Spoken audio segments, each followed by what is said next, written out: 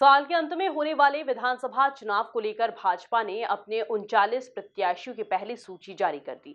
लेकिन इस सूची में मौजूद अनेक प्रत्याशियों का विरोध क्षेत्र में किया जा रहा है और उसी क्रम में पन्ना ज़िले की गुनौर विधानसभा सीट से राजेश वर्मा को तीसरी बार टिकट मिलने पर क्षेत्रवासियों ने विरोध किया और अमिताभ बागरी को टिकट देने की मांग की। इसी पर देखिए हमारी यह खास रिपोर्ट।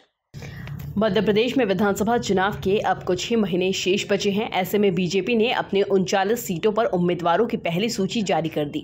अपने मनपसंद उम्मीदवार को टिकट नहीं मिलने पर जगह जगह विरोध देखा जा रहा है, जहाँ पन्ना ज़िले की गुनौर सीट से बीजेपी के पूर्व विधायक रहे राजेश वर्मा को तीसरी बार पार्टी ने टिकट दे दिया, जिसको लेकर अमिता बागरी के समर्थकों ने विधानसभा क्षेत्र में विरोध प्रदर्शन किया।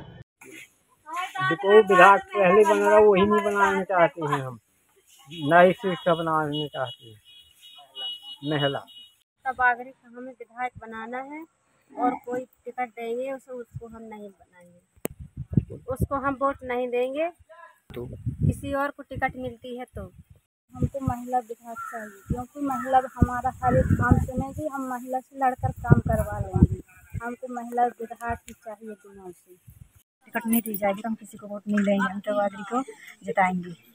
अब इसके बाद आने वाले वक्त में देखना होगा कि समर्थकों के इस विरोध का गुनौर विधानसभा चुनाव में भाजपा प्रत्याशी को कितना नुकसान उठाना पड़ता है। Bureau report MP news Panna.